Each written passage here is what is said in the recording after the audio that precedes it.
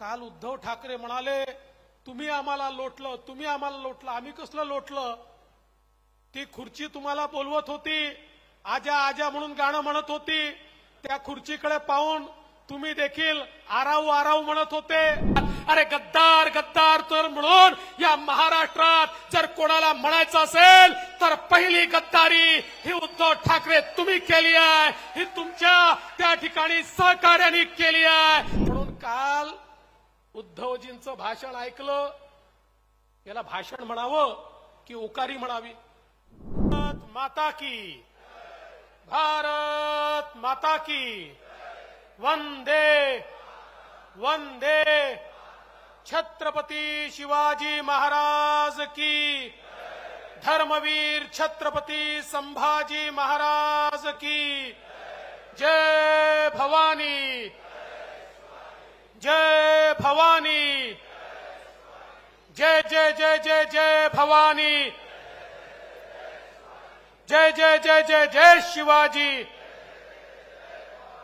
आजच्या सभेमध्ये मंचावर उपस्थित माननीय सी टी रवीजी कपिल पाटीलजी रवींद्र चव्हाणजी प्रवीण दरेकरजी कृपाशंकर सिंगजी जगन्नाथराव पाटीलजी गणपत शेठ गायकवाड महेश चौगुलेजी निरंजन डावखरेजी ज्ञानेश्वर म्हात्रेजी नरेंद्र पवारजी माधवीताई नाईक मधुकर मोहबे शीतल तोंडलीकर ममता परसाणी रेखा चौधरी दशरथ तिवरे प्रशांत पाटील सिद्धेश पाटील प्रकाश म्हात्रे देवेश पाटील. मंचावरील सर्व मान्यवर आणि या ठिकाणी उपस्थित सर्व माझ्या भगिनी आणि बंधूंनो आज खरं म्हणजे शिवसेनेचा वर्धापन दिन आहे. आणि या वर्धापन दिनाच्या निमित्ताने हिंद हृदय सम्राट शिवसेना प्रमुख बाळासाहेब ठाकरे यांना वंदन करतो. आणि ज्यांच्या नेतृत्वात आज शिवसेना काम करते आहे ते महाराष्ट्राचे मुख्यमंत्री एकनाथराव शिंदेजी यांना मनापासनं वर्धापन दिनाच्या शुभेच्छा देतो. आज मुंबईमध्ये वर्धापन दिनाचे दोन कार्यक्रम चालले आहेत. एक कार्यक्रम ज्यांनी शिवसेना वाचवली त्या एकनाथराव शिंदेच्या नेतृत्वात चाललाय. आणि दुसरा वर्धापन दिन ज्यांनी बाळासाहेबांचे विचार बुडवले त्यांच्या नेतृत्वात चाललेला आहे. खरं म्हणजे या ठिकाणी हे सांगितलं पाहिजे हिंदू हृदय सम्राट बाळासाहेब ठाकरे एकदा असं म्हणाले त्यांना प्रश्न विचारला की बाळासाहेब जर या ठिकाणी काँग्रेस राष्ट्रवादी काँग्रेस सोबत जाण्याची वेळ ही तुमच्यावर आली तर तुम्ही त्यांच्यासोबत जाल का? बाळासाहेब ठाकरे म्हणाले ज्या दिवशी अशी वेळ येईल त्या दिवशी मी शिवसेनेचं दुकान बंद करेन पण काँग्रेस राष्ट्रवादी काँग्रेस सोबत कधीच जाणार नाही. पण दुर्दैव बघा सत्ता कशी असते? खुर्ची कशी असते? काल उद्धव ठाकरे म्हणाले तुम्ही आम्हाला लोटलं तुम्ही आम्हाला लोटलं आम्ही कसलं लोटलं?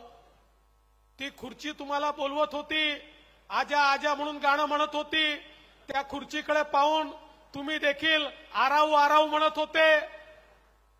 भाजप आणि शिवसेनेच्या युतीला पूर्ण बहुमत महाराष्ट्राच्या जनतेने दिलं. त्यावेळी तुम्ही मतं मागताना भारतीय जनता पक्षासोबत मतं मागितली होती. हिंदुत्वाकरता मतं मागितली होती. महाराष्ट्रात युतीच्या सरकारकरता मग- मतं मागितली होती. पण निवडणूक झाली आणि नियत बदलली. आणि मग खुर्ची करता त्या ठिकाणी विचारांशी सौदा केला सौदा खऱ्या अर्थानं या महाराष्ट्रामध्ये गद्दारी कोणी केली असेल? उद्धव ठाकरेजी. तुम्ही गद्दारी केली. आमच्यासोबत आमच्या मतांवर निवडून आलात. आमच्या पाठीमध्ये खंजीर खुपसून आमच्याशी गद्दारी करून खुर्ची करता. केवळ त्या ठिकाणी मुख्यमंत्री पदाकरता. उद्धव ठाकरेजी तुम्ही काँग्रेस राष्ट्रवादी काँग्रेस सोबत गेलात. अरे गद्दार गद्दार तर म्हणून या महाराष्ट्रात जर कोणाला म्हणायचं असेल तर पहिली गद्दारी ही उद्धव ठाकरे तुम्ही केली आहे. ही तुमच्या त्या ठिकाणी सहकार्याने केली आहे. त्यामुळे खरे गद्दार हे तुम्ही आहात. दुसऱ्याला गद्दार म्हणण्याची तुम्हाला अधिकार नाही आहेत. कारण एकनाथराव शिंदे आमच्यासोबत आले. ज्यांच्या सोबत मतं मागितले होते त्यांच्यासोबत शिंदे साहेब परत आले आहेत. ज्या विचाराकरता एकनाथराव शिंदे आणि त्यांच्या चाळीस लोकांना निवडून दिलं होतं त्याकरता एकनाथराव शिंदे या ठिकाणी सोबत आले आहेत. या चाळीस लोकांनी काँग्रेस राष्ट्रवादी सोबत मतं मागितली नव्हती. या चाळीस लोकांनी मतं मागितली होती. भारतीय जनता पार्टी सोबत. त्या ठिकाणी मोदींचे मोठे मोठे फोटो लावून तुम्ही मतं मागितली आणि निवडणुकीनंतर गद्दारी केली. अरे तुम्हाला दुसऱ्याला गद्दार म्हणण्याचा अधिकार नाहीये. पण आज यांची अवस्था कशी आहे? आज यांची अवस्था अशी आहे. मी असं ऐकलं होतं की एकेकाळी संताजी धनाजी यांची अशी दहशत होती की त्या ठिकाणी मुघलांना जळीस्थळी काष्टी पाषाणी संताजी धनाजीच दिसायचे. रात्री झोपेतून दचकून मोगल उठायचे. संताजी आ गया धनाजी आ गया. अशा प्रकारे त्या ठिकाणी रात्री दचकून उठायचे. अशा प्रकारची ती अवस्था मी ऐकली होती. आता मोदीजी आणि अमित भाईंचं नाव घेतलं की हीच अवस्था उद्धवजींची हीच अवस्था पवार साहेबांची आणि हीच अवस्था काँग्रेस पार्टीची होऊन राहिली आहे. आणि म्हणून काल उद्धवजींचं भाषण ऐकलं याला भाषण म्हणावं की उकारी म्हणावी? हा प्रश्नच आहे. मी असे शब्द वापरत नाही. पण मला वापरायला मजबूर करतायत कृपाशंकर सिंगजी. ही ओकारी होती. केवढा मळ निघाला केवढा मळ निघाला? खरं म्हणजे त्यांची अवस्था हीच आहे. त्यांची अवस्था अशी आहे की त्यांना जळी स्थळी काष्टी पाषाणी मोदीजी आणि अमित भाई दिसत आहेत आणि त्यांना समजतच नाही आहे रोज आम्ही इतक्या शिव्या देतो तरीही जनता मोदीजींच्या मागे का जाते?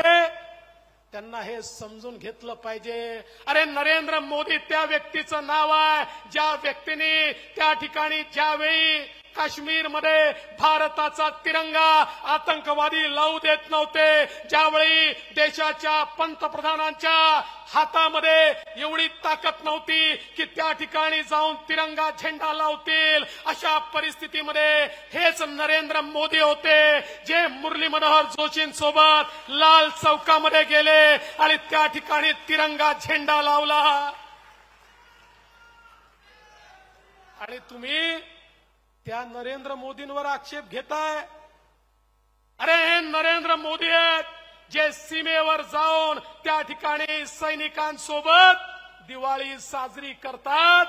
तुम्ही सैनिक तर सोडा साध्या शिवसैनिकांसोबत भेटायला वरळीमध्ये देखील जात नाही. आणि तुम्ही नरेंद्र मोदींच्या संदर्भात या ठिकाणी बोलता